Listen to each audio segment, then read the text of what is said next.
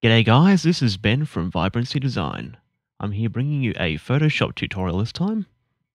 Now you'll notice here what we have is a uh, simple design on a shirt, but what you'll notice is that it actually follows some of the shading of the shirt itself. And what is really cool is we can move this around as well. And you can see that uh, shading passing through. So how do we do this? It's actually quite simple. All right, so what I've provided for you guys is two images. One is this shirt just by itself, and the other one is this um, image here, which is just says, this is a cool shirt, which indeed it will be. All right, so what I want you guys to do is download both those, and then we're going to get started. All right, so with both of those, we've got that one and that one. Let's drag and drop this one just by uh, making sure we've got the normal move tool selected drag it over right into the middle there, and then maximize this one. Right, now the first thing to do is, I guess, to uh, scale this to about how big you want it to be, which for me will be about that size. I thought I'd be kind of cool and put it on a slight angle. All right, so I'll leave it about that. Okay, and then uh, just hitting enter to confirm that. And uh, there we go. All right, now you'll notice that this one uh, simply just has the uh, image by itself. There's no shading in there. So how do we get some of these creases to carry on through? Okay, here we go. Well, let's just first turn off this layer that we just pasted. And we'll go across to our original one. Now holding Control or Command if you're on a Mac and hitting J will duplicate that. Okay, so now we've got two identical layers. Now what I want you to do is make this one grayscale. And in case you don't notice, I'm a fairly shortcut kind of person. So going Control or Command, Shift U is going to remove all the color from that.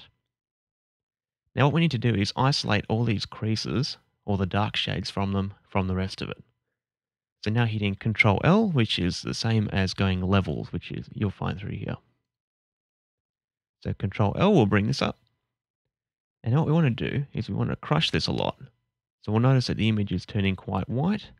And now let's bring this part in so we can bring some of those shadows in as well. Okay, so we want it to be about that. All right, so we've got that one set.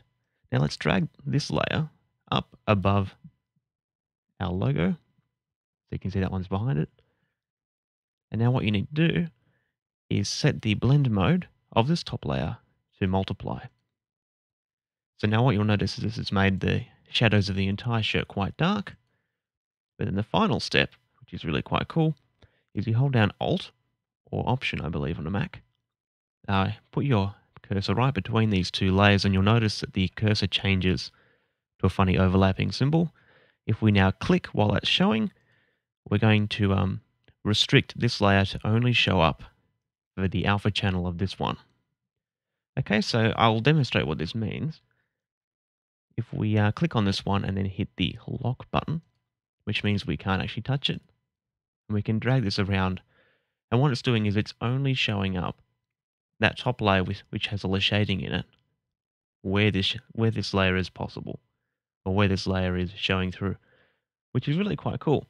And now, if you need to uh, do any fine tuning to this, you can always go back and um, adjust that like so, dragging this up and down. There's probably not a whole lot of difference you can see, but you can have a bit of fun like that. All right, so that's pretty much all there is to it. It's really cool. You can uh, apply any image you want, except it needs to have an alpha channel, so it needs to uh, have transparency behind it.